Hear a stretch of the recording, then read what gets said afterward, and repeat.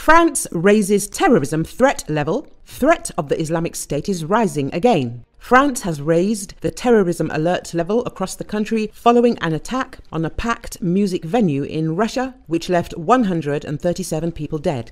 Last Friday, four Tajik nationals opened fire inside the Crocus City Hall outside Moscow and set the building on fire. All terrorists were later detained while attempting to flee by car to Ukraine, according to President Vladimir Putin.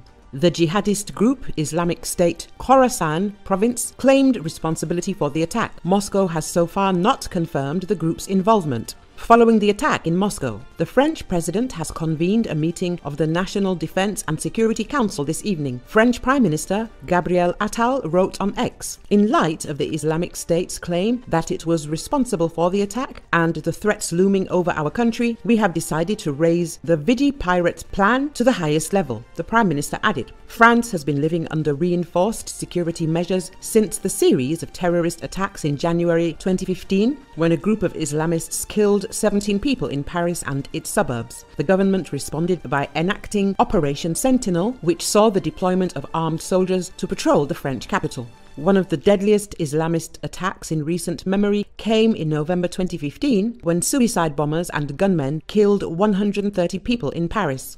For many, the horrors of Islamic State ended when US led military campaign collapsed the group's self styled caliphate in 2019. But five years later, tens of thousands of civilians are still being kept in camps, including the Al Hol, which are filled with the families of Islamic State militants and others inadvertently swept up in the chaos of northeast Syria. In front of the Crocus City Hall shopping center, where the terrorist incident took place in the Moscow region of Russia, the memory of those who died in the incident was commemorated. During the action called Cranes, thousands of people gathered in front of the shopping center, lit candles, and observed a minute of silence. Flowers and children's toys were piled in front of the concert hall where the terrorist attack took place. Crane's action was held in memory of the dead in different cities of Russia. Images of the actions were shown on the screen installed in front of Crocus City Hall, but it should be noted that on March 22, more than 130 people were killed and more than 150 were injured during the terrorist attack that took place in the Crocus City Hall shopping center. As a result of the fire, the concert hall where the incident took place collapsed.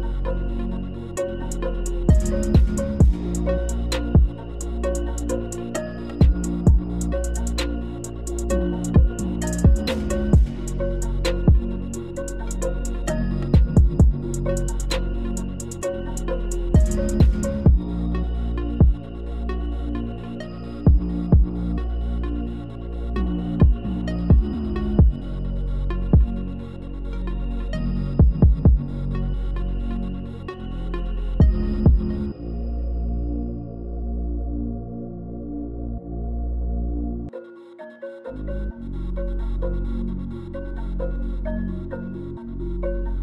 you.